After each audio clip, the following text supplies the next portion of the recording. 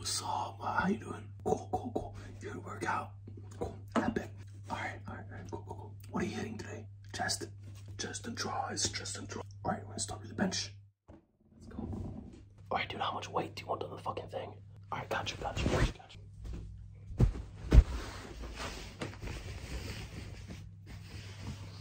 Alright, dude, hit the weight, hit the weight.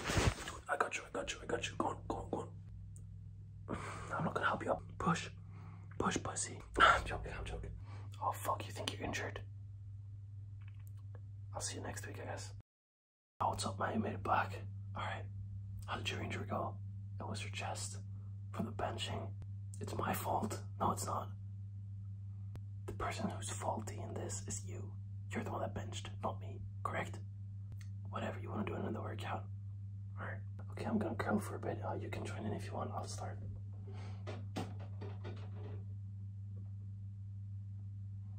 You wanna have a go? Let's curl it, yeah, like this. Impressive. You wanna know how much weight this is? 20 grams.